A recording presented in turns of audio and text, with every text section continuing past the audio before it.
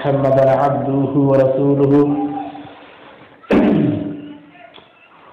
أعوذ بالله من الشيطان الرجيم. بسم الله الرحمن الرحيم.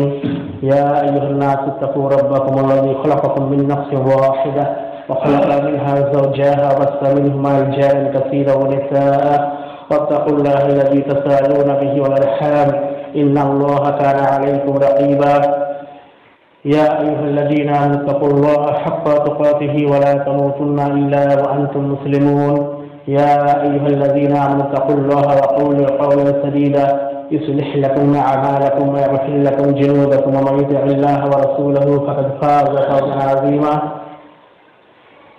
أما بعد فإن خير الحديث كتاب الله وخير الهدي هدي محمد صلى الله عليه وسلم وشر الأمور محدثاتها وكل محدثة بدعة. وكل بدعة ضلالة وكل ضلالة في النار قال الله تعالى في كلامه المجيد أعوذ بالله من الشيطان الرجيم قل إني أخاف إن عصيت ربي عذاب يوم عظيم قل الله أعبد مخلصا له ديني إلى آخر الآيات সমস্ত প্রশংসা সেই মহানবুল আলমের জন্য যিনি আমাদেরকে অগণিত সৃষ্টির মাধ্যমে সর্বশ্রেষ্ঠ অর্থাৎ আশরাফুল মাখলুকাত হিসাবে সৃষ্টি করেছেন তার প্রশংসা আমরা বলি, আলহামদুলিল্লাহ। অতঃপর তার সৃষ্টি এই যে আশরাফুল মাখলুকাত, মানুষের মধ্যে তিনি আচার ব্যবহার কেমন হবে, মানুষ এই পৃথিবীতে এসে কোন রাস্তা প্রয়োগ করবে, যাতে করে এই ক্ষণস্থায়ী জীবন থেকে চিরস্থায়ী জীবনে সফলতা লাভ করতে পারে। সেই পথ যুগে যুগে কালে কালে নবী ও রসুলদের মাধ্যমে দেখিয়েছেন। আর আমরা পথ পেয়েছি আখরি নবী আহমদ মুস্তফা, মোহাম্মদ মুস্তফা সাল্লাহ সাল্লামের মারফতে তার উপরে এবং তার পরিবারের উপর অবতীর্ণ অসংখ্য দরুদ সালাম। আল্লাহ সাল্লাহ আলাই আল্লাহ বারেক আলাই তো আজকে জুমার দিন। জুমার দিনের ফজিলত অনেক তাৎপর্যপূর্ণ রয়েছে। জুমার দিনেতে প্রথম প্রথমে মসজিদে উপস্থিত হওয়ার অনেক নেকি রয়েছে। কিন্তু আমরা অধিকাংশ মুসলিম আজকে গাফিল হয়ে আছে। তারা আল্লাহ সুহামতাল্লাহর ইবাদত থেকে গাফিল হয়ে আছে। কিন্তু দুনিয়াবি কোনো বস্তুতে তাদেরকে আক্রমণ করলে, তাদেরকে আমন্ত্রণ দিলে পরে দুনিয়াবি কোনো খেল তামাশা হোক বা বিবাহ সাদী হোক বা আপনার সামাজিক, অসামাজিক, শয়তানি রাস্তা হোক, সমস্ত দিকে কিন্তু মানুষ এগিয়ে আছে। কারণ শয়তান মানুষের অন্তর থেকে আল্লাহ সুবানা তালার আল্লাহ সুবানা তালার ভয় সে উড়িয়ে দিয়েছে। মানুষের অন্তরে, মানুষের হৃদয়তে সে শয়তান পৃথিবীর চাকচিক্যময়কে তুলে ধরেছে এবং মানুষ সেই দিকে আকৃষ্ট হয়ে আছে। অথচ আমি পবিত্র কোরআনে যে আয়াত পাঠ করেছি, দুটি আয়াত। সুরা জুমার সুরা নম্বর উনচল্লিশ, আয়াত নম্বর তেরো এবং চোদ্দ। আল্লাহ সুবহানাহু পবিত্র কোরআনেতে এমনিতেই অনেক আয়াত বলেছেন, যেখানে ইত্তাকুল্লাহ, ওয়াত্তাকুল্লাহ আল্লাহ সুবহানাহু তাআলাকে ভয় করো, তাকওয়া অর্জন করো, আল্লাহকে ভয় করো। এখানে খাস করে বলছেন, মহানবী বলছেন, কুল, তুমি বলে দাও, ইন্নি আখব আমি ভয় করি আমার প্রভুকে। কুল ইন্নি আখাফ আসানি রব্বি আজাব আজিম যদি আমি আমার প্রভুর অবাধ্যতা করি কুল ইন্নি আখাফ ইন আসাইতু রব্বি আজাব ইয়াউমিন আজিম যদি আমি আমার প্রভুর অবাধ্যতা করি, অর্থাৎ আল্লাহ সুবহানাহু তাআলার অবাধ্য যদি আমি হই, তাহলে আমি মহান সে কিয়ামতের দিনে আমার রবে আজাবে ভয় করছি, কঠিন আজাবে তিনি আমাকে গ্রেফতার করে নিতে পারেন।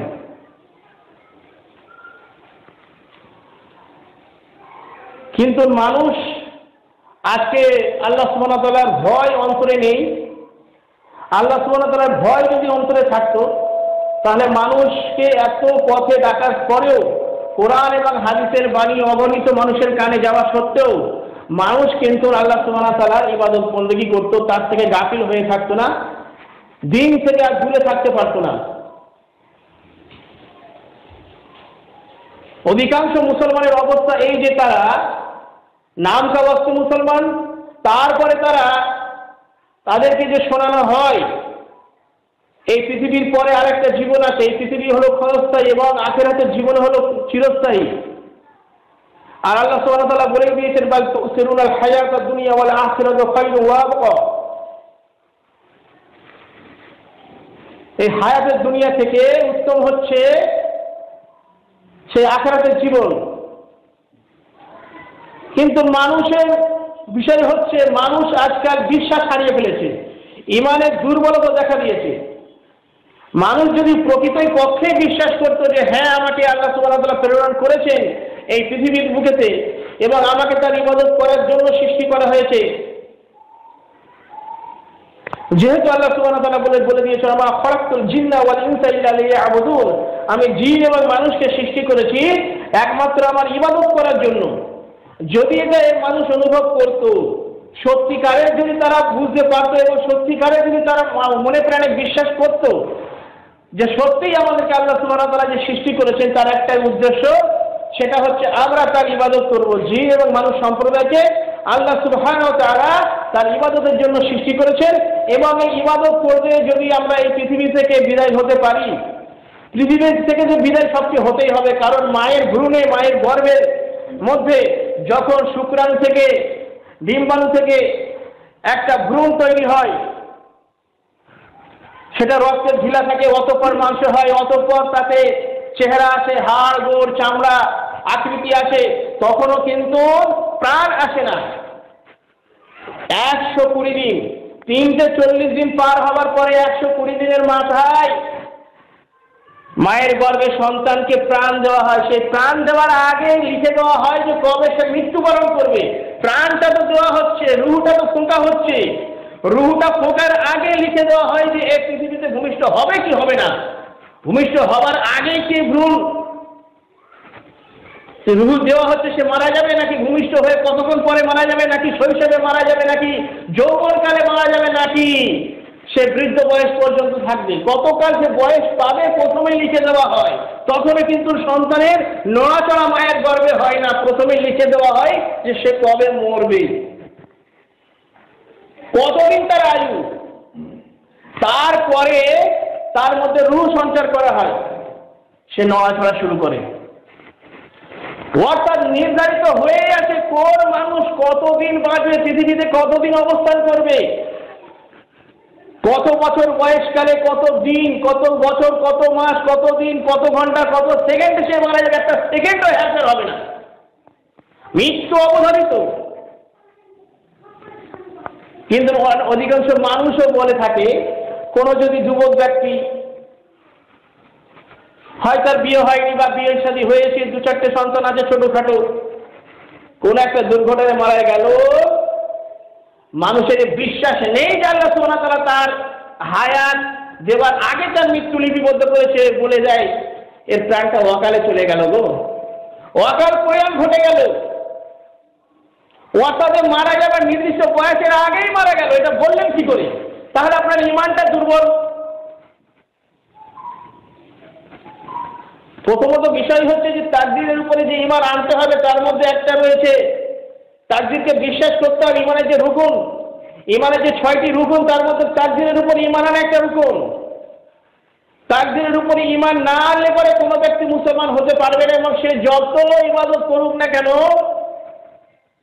সে বহুত পাহাড় সমান যদি সোনা দান করে, সে যদি সারা জীবন আপনার তাহাজুদ নামাজ পড়ে, সারা জীবন যদি সে রোজা রাখে, তার ইবাদত কবুল হবে না। যদি সে তাকদিরের প্রতি ইমান না আনে। আর তাকদিরের মধ্যে লিখে দেওয়া হয়েছে, কোন রুহ কোন মায়ের গর্ভেতে লালিত পালিত হবে, কোন মায়ের প্রসাবদ্বার থেকে সে পৃথিবী দেখবে, কতদিন সে বেঁচে থাকবে, কোনখানে সে মারা যাবে, কোনখানে মারা যাবে এটাও লেখা।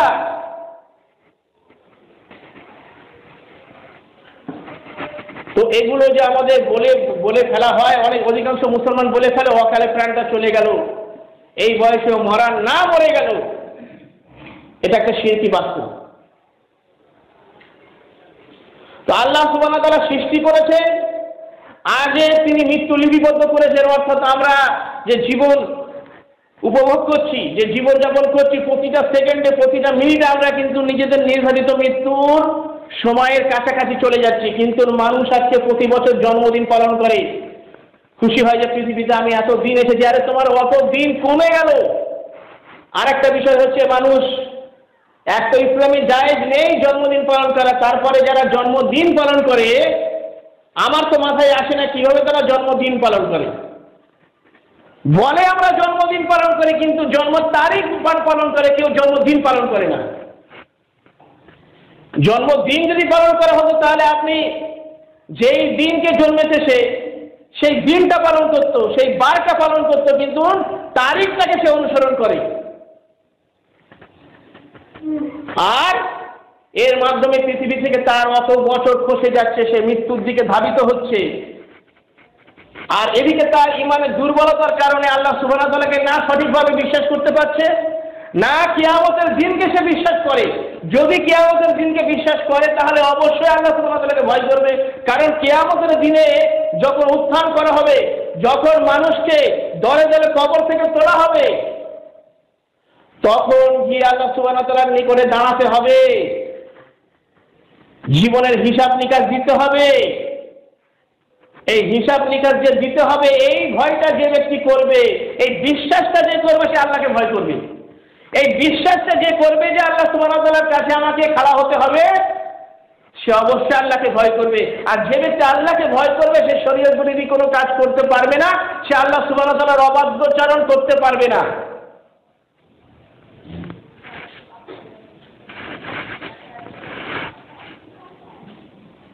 তো আল্লাহ সুবাহ তালার অবাধ্যচরণ যদি করা হয় তাহলে আল্লাহ সুবাহ নবী সাল্লামকে বলে শিক্ষা দিলেন যে তুমি বলো ফুল তুমি বলে দাও, ইন্নি আকাবো আমি ভয় করছি। ইন আসানি রব্বি আওয়াবা ইয়াউমিন আজিম যদি আমি আমার অবাধ্য হই, আমার প্রভুর অবাধ্য হই, আমার রবের অবাধ্য হই, তাহলে একটা মহান বিচারের দিনে আমাকে কঠিন শাস্তির সম্মুখীন হতে হবে। কিন্তু মানুষ আজকে কবরকে বিশ্বাস করতে পারে না। বিভিন্ন জায়গায় যাতায়াতের মাধ্যমে, গাড়ি ঘোড়ার মাধ্যমে মানুষের কথোপকথন তো শোনা যায়। ও কবরে লাশ পচে যাবে। কবর দিলে মাটি হবে। কবরে প্রশ্ন তো সব ফালতু কথা ওলা আমাদের ফালতু কথা। আসল ব্যাপার হচ্ছে ওলামায় কেরামও সেইভাবে বর্ণনা করেছে কিছু ওলামায় কেরাম। কবরে লাশকে টেনে বসানো হবে, তাকে জ্যান্ত করা হবে। এসব আজগুবি তারা বর্ণনা করেছে। মানুষ এইভাবে বিশ্বাস করেছে। যেটা সম্ভব নয়। কবরে জীবন মানে হচ্ছে একটা অদৃশ্য জীবন। যে ব্যক্তিকে কবর দেওয়া হয়েছে, তারও কবরের হিসাব নিকাশ হবে, আর যে ব্যক্তিকে কবর দেওয়া হয়নি, তারও হিসাব নিকাশ হবে। যেই ব্যক্তিকে শ্মশানে পুড়িয়ে দেওয়া হয়েছে, তারও হিসাব নিকাশ হবে। যে ব্যক্তিকে বাঘে খেয়ে ফেলল, কোনো জীবজন্তুদের পেটে সে চলে গেল, তারও হিসাব নিকাশ হবে। সেই হিসাব নিকাশটা শরীরের সঙ্গে হয় না। কোনো ব্যক্তি যখন মৃত্যুবরণ করে আমরা মুখে মুখে বলি, অমুক ব্যক্তি ইন্তেকাল করেছে। তো ইন্তেকাল শব্দের অর্থই হচ্ছে ট্রান্সফার হয়ে গেছে। আমাদের অস্তিত্ব এই পৃথিবীর আগেও ছিল। বোখারিতে একটা হাদিস রয়েছে, সৃষ্টির সূচনা সেই অধ্যায়েতে। আল্লাহ সুহানতলা আদম আলাইসাল্লামকে সৃষ্টি করার পরে তার পৃষ্ঠদের সাথে পৃথিবীর শেষ মানুষটি যে আসবে, সকলের রুহকে সকলের আত্মাকে টেনে বের করে দিয়েছে। আরওয়াহে রুহের যুগে সবাই আমরা ছিলাম ইতিপূর্বে। পৃথিবীতে আগামীতে যারা আসবে, তারাও আরওয়াহে রুহে আছে। আর আরওয়াহে রুহের জগতে তারা আছে। আর সেখানে আরওয়াহে রুহের জগতে যাদের সঙ্গে যাদের পরিচয়, এই পৃথিবীতে তাদের সঙ্গে তাদের পরিচয় ঘটবে। যাদের সঙ্গে যাদের পরিচয় ওখানে নেই, এই পৃথিবীতে কোশ্মিন কানেও তাদের সঙ্গে পরিচয় ঘটবে না? তো আল্লাহ সুবহানাহু ওয়া তাআলা সিলেক্ট করে রেখেছেন, বাছাই করে রেখেছেন কার পরে, কাদের পরে কাকে প্রেরণ করা হবে এবং কোথায় কাদেরকে প্রেরণ করা হবে। সব কিছুই তিনি কলমকে সৃষ্টি করে তার মাধ্যমে লিপিবদ্ধ করে নিয়েছেন। আসমান, জমিন, চন্দ্র, সূর্য, গ্রহ, নক্ষত্র সৃষ্টির পঞ্চাশ হাজার বছর পূর্বে। তো আরওয়াহের রুহের যুগে সবাই ছিল। সেখান থেকে ইন্তেকাল অর্থাৎ ট্রান্সফার হয়ে এসেছে মায়ের গর্ভে। সেখান থেকে আবার ইন্তেকাল হয়ে পৃথিবীতে এসেছে। এখান থেকে ইন্তেকাল হয়ে যাবে কোথায়? আলামে বারজাকে। সেখান থেকে আবার মুমিনের যদি হয়, অর্থাৎ মানুষের মৃত্যু নয়, প্রকৃতপক্ষে রুহের মৃত্যু না আমরা যদি বলি, আমরা যদি বলি মৃত্যু হয়ে গিয়েছে, তাহলে সেটা হচ্ছে দেহের মৃত্যু। সেটা হচ্ছে দেহের মৃত্যু। এক ব্যক্তি মারা গেল, তার ভিতর থেকে তার আত্মাটাকে ফেরেস্তারা ছিনিয়ে নিয়ে চলে গেল। তার দেহটা পড়ে রইল। দেহটা পচে বলে না যায়, দুর্গন্ধ না হয়, তার জন্য ধর্মেতে পদ্ধতি দেওয়া হয়েছে। তাকে ভালো করে গোসল করিয়ে কাপন পরিয়ে কবরস্থ করতে হবে। অতপর তার যে সওয়াল জবাব হয়, তার দেহকে কবরে টেনে বসানো হয় না, বরং তার রুহকে সওয়াল জবাব করা হয়। তার আত্মার সঙ্গে সওয়াল জবাব হয়। যদি ভালো আত্মা হয়, সওয়াল জবাবে যদি দিতে পারে, কবরটাই হচ্ছে প্রথম ধাপ। তাহলে তাকে রাখা হয় ইল্লিয়েনে মুমিনের আত্মা এবং সাহি মুসলিম এবং মুসলিম আহমদের হাদিস রয়েছে।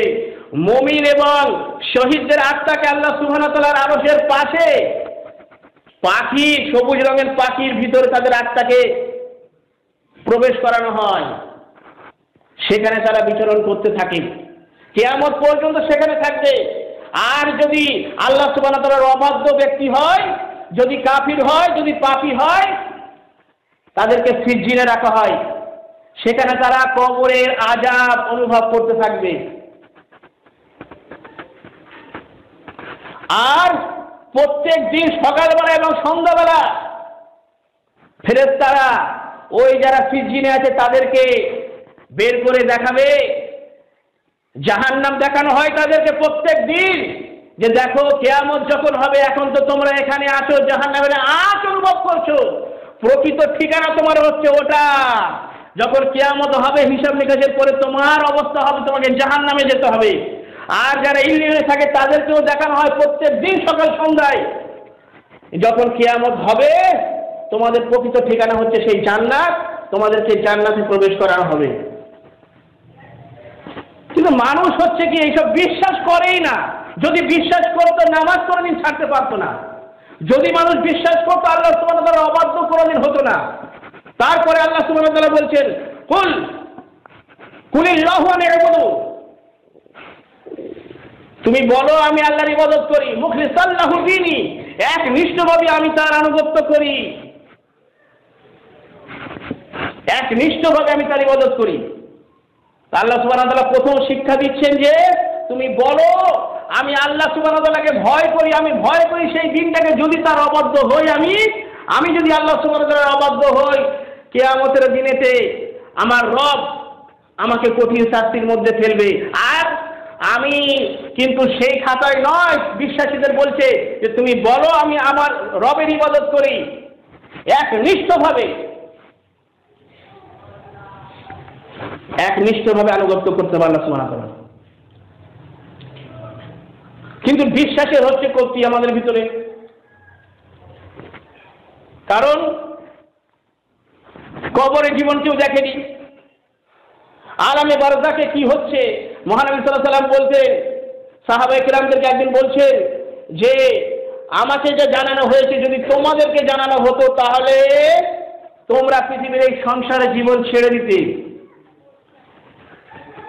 মৃত ব্যক্তিদের সঙ্গে, পাপি তাপিদের সঙ্গে যে কি আচরণ করা হয়, এমন শাস্তি তাদেরকে দেওয়া হয় যে ঝির এবং মানুষ ছাড়া পৃথিবীর প্রত্যেকটা জীব জন্তু সেটা শুনতে পায়।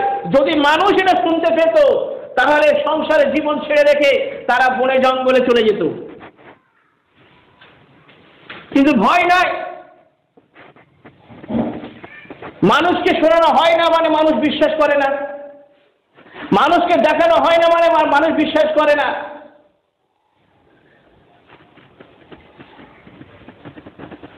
আজকে আমাদের অবস্থা হচ্ছে, মূলত এর কারণ হচ্ছে ইমান আমাদের দুর্বল।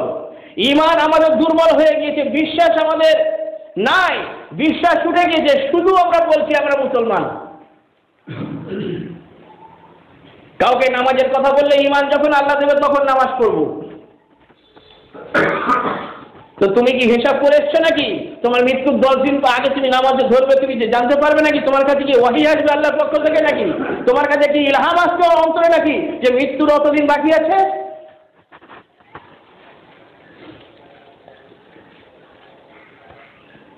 আফসোস হয় আজকের মুসলমানদেরকে দেখে। যত এরা কোরআন, হাদিস শুনছে, তত দিন থেকে দূরে সরে যাচ্ছি। এরা নাম কাবাসে জুম্মার দিন নামাজ পড়তে আসে। আমার বুঝে আসে না যে একটা হিন্দু যখন মুসলমান হয়, সে আবার হিন্দু হয়ে যায় কি করে? আমার বুঝে আসে না যে একটা বিদাতি যখন আহলে হাদিস হয়, সে আবার বিদাতি হয় করে? আমার এটা বুঝে আসে না যে একটা নামাজি যখন নামাজ পড়ে, সে নামাজ ছেড়ে দেয় কি করে?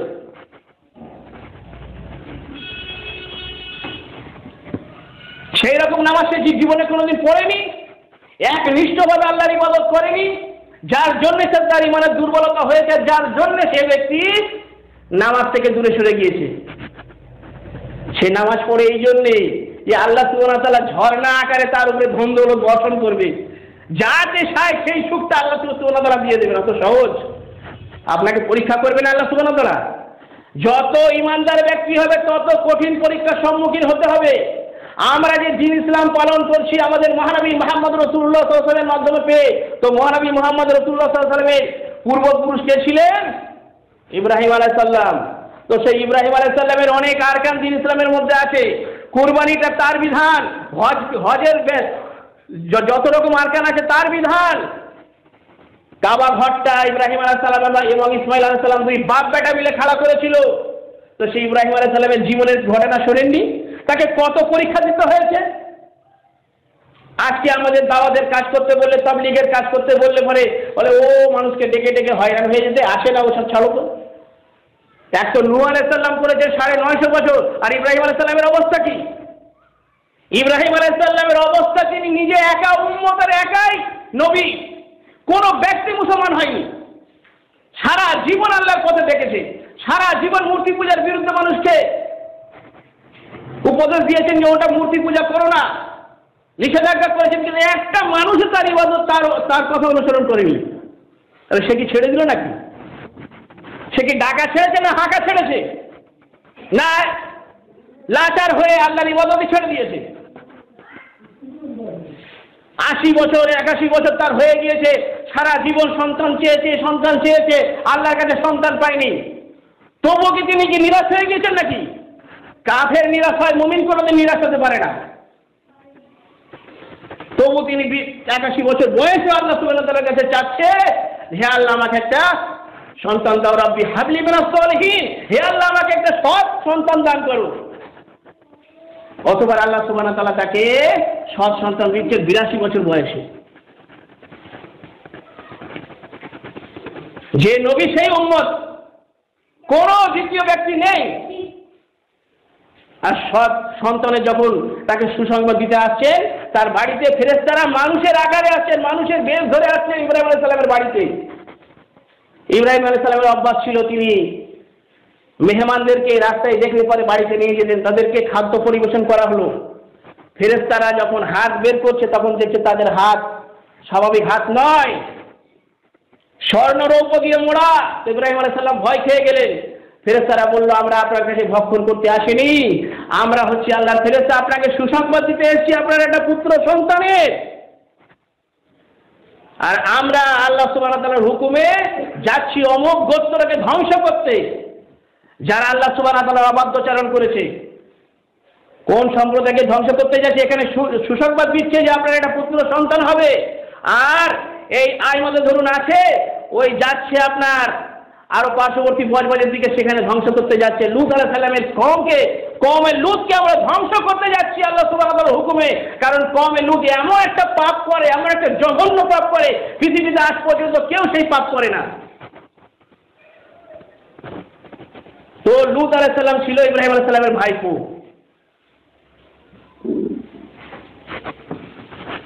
তো কমে লুত কি করতো? সমকামিতা করত, সমকামিতার যে পাপ, তখনও ছিল এখনও আছে। তার শাস্তি স্বরূপ তাদের ওখানে গিয়ে ফেরেস্তারা কি করলেন? গোটা এলাকাটাকে উল্টে দিলেন। গোটা এলাকাটাকে উল্টে দিলেন। নিচের নিচে আমরা জানি মাটিতে যদি খনন করা হয় তাহলে কি বের হবে? পানি বের হবে। পানিটাকে উপরে করে দিলেন, জমিনটাকে নিচে করে দিলেন। আজও সেই সাগর রয়েছে, লোহিত সাগর নামে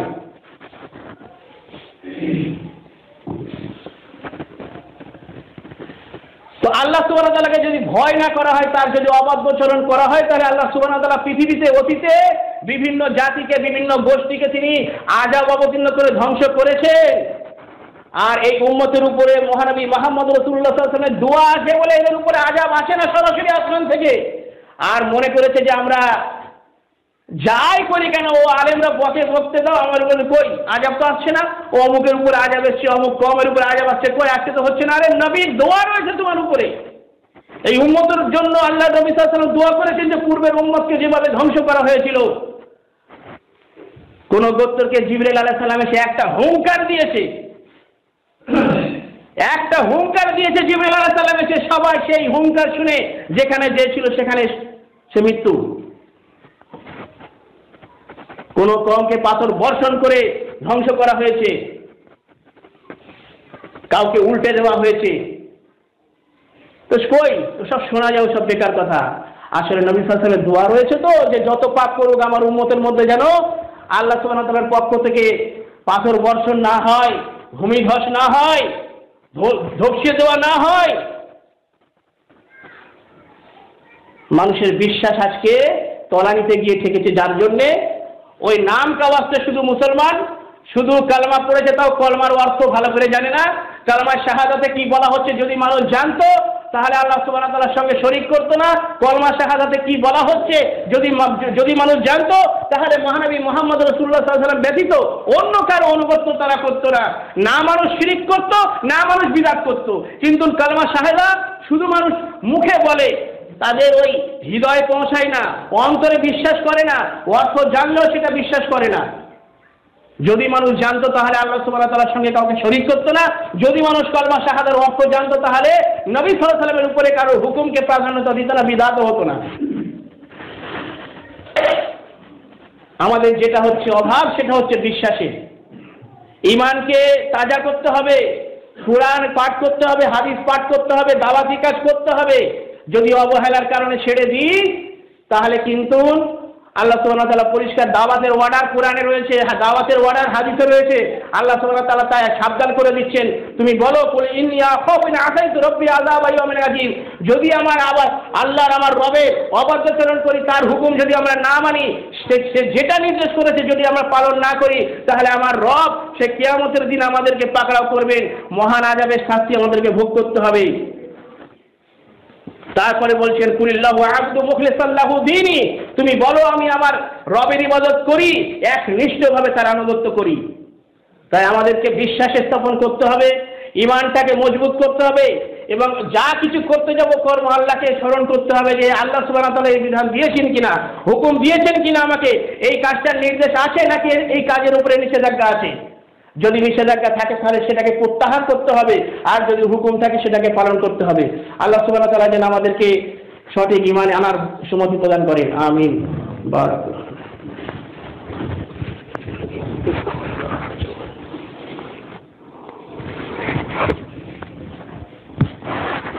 الحمد لله وحده من لا عباده الذي بعد والصلاة والسلام على رسول الله أما بعد তো যে বিষয়টা আলোচিত হচ্ছিল, সেটা হচ্ছে মূল বিষয় হচ্ছে ইমান। আজকে ইমানের আমাদের কমতি হয়েছে, তো সেই ইমানটাকে তাজা করতে গেলে পরে আল্লাহ সুবাহ তালা তো সুরা আনফালের দ্বিতীয় নম্বর আয়াতে বলে দিয়েছেন যে যখন ইমানদারদের সম্মুখে আল্লাহ সুবাহ আলোচনা করা হয়, তার কিতাব পাঠ করা হয়, তাদের ইমান বৃদ্ধি পায়। আজকে আমাদের ইমানটা দুর্বল হয়ে গিয়েছে। তো মহানবী সাল্লামও বলেছেন যে যেমন লোহার মধ্যে জং ধরে, তেমন হৃদয় মানে হৃদয়ের মধ্যেও অন্তরেও জং ধরে। আর এই জংটাকে লোহার মধ্যে জং ধরা, জং ছাড়াতে গেলে পরে বিভিন্ন মেডিসিন বিভিন্ন তেল দিয়ে সেটাকে ধুতে হয়, সেটাকে পালিশ করতে হয়। অনুরূপ অন্তরটাকে যদি খারেজ করতে হয়, ইমানের দুর্বলতাকে যদি দূর করতে হয়, ইমানের, ইমানকে যদি শক্ত করতে হয়, তাহলে তার ওষুধ হচ্ছে কি? আল্লাহ কুরআন এবং রসুল সাহসমের হাদিসের আলোচনা। আল্লাহ কুরআন এবং রসুল সাহসমের হাদিসের আলোচনা, কোরআনের আয়াত নিয়ে সেটাকে বুঝতে হবে, কোরআন তিলাবাত করতে হবে, কোরআনের অর্থ মানুষের কাছে পৌঁছাতে হবে, হাদিস পাঠ করতে হবে, মহানবী সাল্লামের হাদিস পাঠ করে আল্লাহ সুবাহ তালা কোরআনে কি আদেশ দিচ্ছেন, মহানবী সাল্লাম হাদিসের মধ্যে কি আদেশ দিচ্ছেন, আল্লাহ সুবাহ তালা কোরআনে কি নিষেধ করছেন এবং মহানবী মোহাম্মদ রসুল্লাহ সাল্লাম হাদিসের মধ্যে কোনগুলো নিষেধ করেছেন? আমাদের কর্মজীবনে কি হওয়া উচিত? আমাদের সাংসারিক জীবনে কি হওয়া উচিত? আমাদের পারিবারিক জীবনে কি হওয়া উচিত? সমস্ত কিছুর আদেশ, নিষেধ কমপ্লিট রয়েছে ইসলামের মধ্যে। সেগুলোকে যদি আমরা আলোচনা করে না জানি, না জানার চেষ্টা করি, আমাদের ইমানে মরিচা ধরছে আর ওই মরিচা ধরার ফলে ইমান দুর্বল হয়ে যাচ্ছে।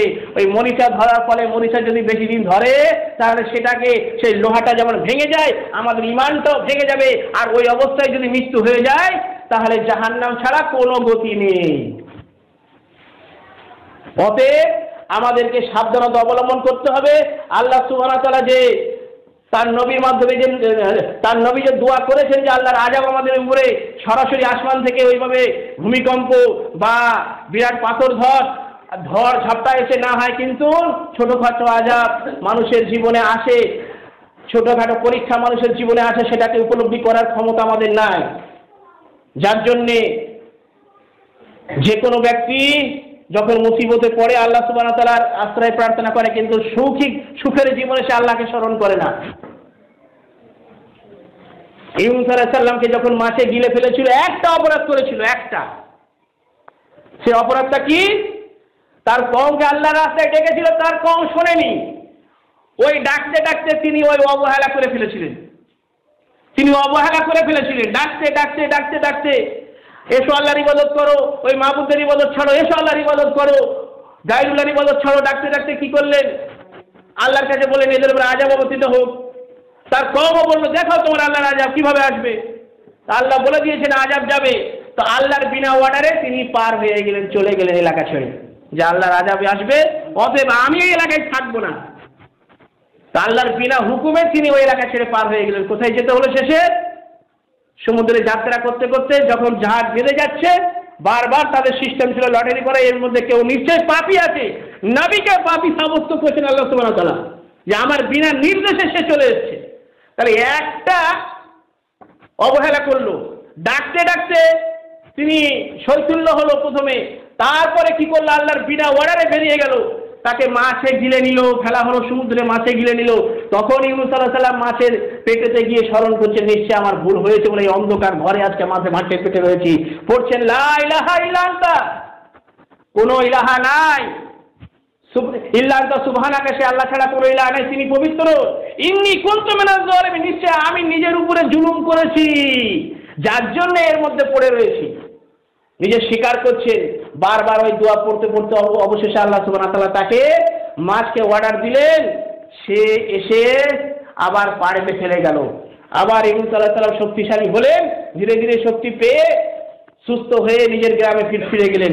আর তার গ্রামে যে আসার কথা ছিল, যখন গ্রামের মানুষ দেখছে যে আসমানের রং পাল্টে গিয়েছে, হাওয়া স্তব্ধ হয়ে গিয়েছে। তখন মানুষ বুঝতে পারল, ইউনুস সত্য বলতো, অতএব এখনই আমরা ধ্বংস হয়ে যাব। অনেক কথা পূর্বে পূর্বেকার লোকেদের শুনেছি। চলো, সবাই মিলে সেই ইউনিসের আল্লাহকে ডাকি। সবাই মিলে তওবা করল, মূর্তিগুলোকে ছুঁড়ে ফেলল। আল্লাহর কাছে তারা ক্ষমা প্রার্থনা করল। আল্লাহ সুবাহ তালা তাদের ক্ষমা করলেন। তারা ইউনুসকে খুঁজতে থাকল অতঃপর। তো অনেকদিন পরে ইউনুস আল্লাহ সাল্লামকে তারা পেল। তো একটা আদেশকে, বিনা আদেশে সেখান থেকে বের হয়ে যাওয়ার কারণে দাওয়াত করতে করতে করতে করতে দাওয়াতি কাজে সামান্য শৈথিল্য হওয়ার কারণে যদি তার নবীকে না ছাড়েন, আমরা তার একটা নবীর উম্মত আমাদের কি কি করে ছাড়বেন তার নবীকে যদি না ছাড়েন, তাকে যদি আজাব দেন, যে নবীদের উপরে আল্লাহর ওহি আসে তাহলে আমাদেরকে অনুভব করতে হবে যে আমাদেরও নিস্তার নাই, দাওয়াতের কাজ করতে হবে। আল্লাহ তাআলার উপর ঈমান যখন তার নামে কালেমা পাঠ করছি, সেটাকে অনুভব করতে হবে। আমি কি বলছি? দিন ইসলামের আরকান কি? মরার পরে যে কবরে হিসাব নিকাশ হবে, আলামে মধ্যে আমাকে থাকতে হবে, অতপর কিয়ামতের দিনে আল্লাহ সুবহানাহু ওয়া তাআলার কাছে হিসাব নিকাশ করতে হবে। এর বিশ্বাসের অভাব হচ্ছে, এই বিশ্বাসগুলোকে তাজা করতে হবে। আল্লাহ সুবহানাহু ওয়া তাআলার কাছে দোয়া করি, আল্লাহ সুবহানাহু ওয়া তাআলা যেন আমাদেরকে তার প্রতি সঠিকভাবে ইমান আনার এবং সঠিকভাবে তার ইবাদত করার সময় প্রদান করেন আমিন ওয়াফরু দাওয়ানা আলহামদুলিল্লাহ রাব্বিল আলামিন আল্লাহুম্মা সাল্লি আলা মুহাম্মাদ ওয়া আলা আলি মুহাম্মাদ কামা সাল্লাইতা আলা ইব্রাহিম ওয়া আলা আলি ইব্রাহিম ইন্নাকা হামিদুম মাজিদ আল্লাহুম্মা বারিক আলা মুহাম্মাদ ওয়া আলা আলি মুহাম্মাদ কামা বারাকতা আলা ইব্রাহিম ওয়া আলা আলি ইব্রাহিম ইন্নাকা হামিদুম মাজিদ ربنا تقبل منا انك انت السميع العليم وتب علينا انك انت التواب الرحيم سبحان ربك رب العزه عما يصفون وسلام على المرسلين والحمد لله رب العالمين